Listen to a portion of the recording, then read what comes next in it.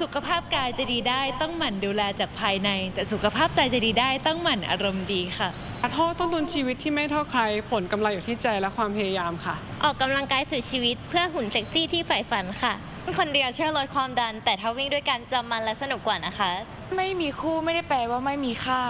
สุขภาพที่ดีในวันข้างหน้าจะนำพาให้มีค่าและมีคู่ค่ะ คำคมมาเต็มกันจริง ๆนะคะ ก็ต้องสวยด้วยอารมณ์ดีแบบนี้ละค่ะ สมแล้วนะคะที่ได้มงจากเวที Miss Wellness World Thailand ค่ะ มากันทั้งหมด 5 สาวนะคะท็อป 5 มาเยี่ยมสื่อมวลชนค่ะ จุดขายของเวทีน้องใหม่ที่เพิ่งจัดปีแรกคือการค้นหา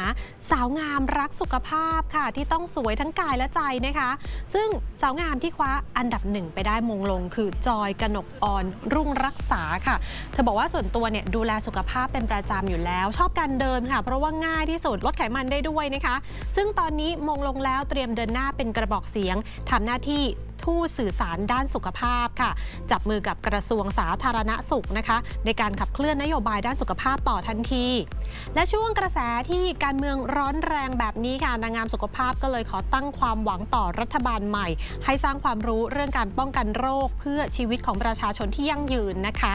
อย่างจอยกนกออนเองเธอวัยเพียง 22 ปีเท่านั้นแต่ว่าย้ำเลยนะคะ ดูแลสุขภาพต้องทำกันตั้งแต่เนิ่นๆค่ะ เธอสนใจเรื่อง anti aging นะคะ หรือเวชศาสตร์ชะลอวัยคำนี้ได้ยินบ่อยขึ้น นั่นคือการต้องเน้นดูแลทั้งภายในและภายนอก ปรับการใช้ชีวิตอาหารการกิน ลดเครื่องดื่มแอลกอฮอล์ทั้งหมดนี้ก็เพื่อสุขภาพที่ดีในระยะยาวนะคะ แล้วก็ยังทำให้ดูหนุ่มสาวแม้วัยจะมากขึ้นค่ะ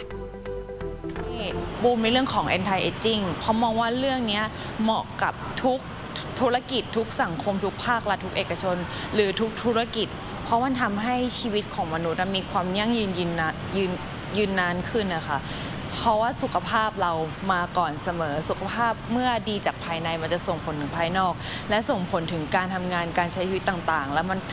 มาถึงความคิด thinking positive ของเรามากๆ เชื่อในเรื่องของส่วนนี้มากๆเลยค่ะเราจะเห็นว่าทุกวันนี้ค่ะ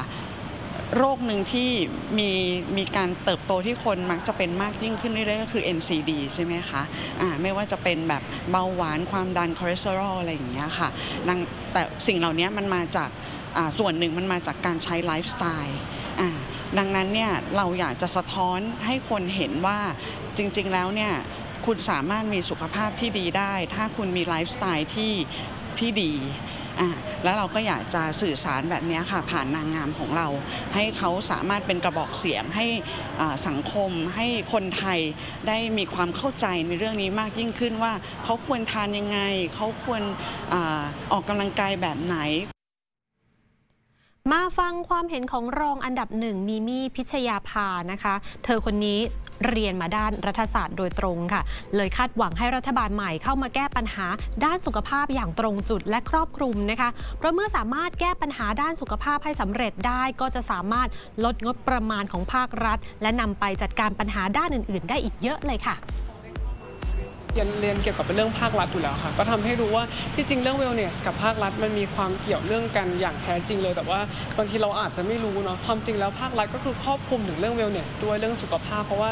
ทุกๆ ปีเราจะมีงบประมาณทุกปีที่เกี่ยวกับภาครัฐถูกไหมคะไม่ว่าจะเป็นประกันสังคม หรือว่าเวลาที่คนไทยเราทำประกันอะไรแบบนี้ค่ะ ก็เลยทำให้ตระหนักได้ว่าถ้าหากว่าภาครัฐ รวมถึงภาคอื่น ๆ ด้วยสามารถสนับสนุนให้คนไทยสามารถเข้าถึงคำว่า wellness และสามารถปฏิบัติได้อย่างแท้จริงแล้วเนี่ยมันสามารถประหยัดงบประมาณไปได้หลายหมื่นล้านเลยทีเดียว ซึ่งไงงบประมาณที่มันประหยัดได้เนี่ยเราก็สามารถที่จะนำไปพัฒนาส่วนต่าง ๆ ที่ประเทศไทยยังบกพร่องได้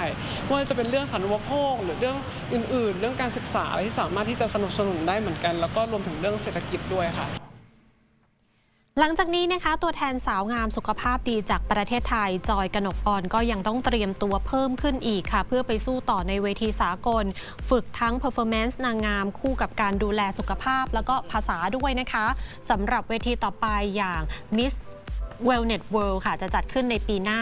ส่วนวันและเวลาที่แน่ชัดรวมถึงเวทีการจัดประกวดนี่เดี๋ยวจะตามมาอีกทีนะคะ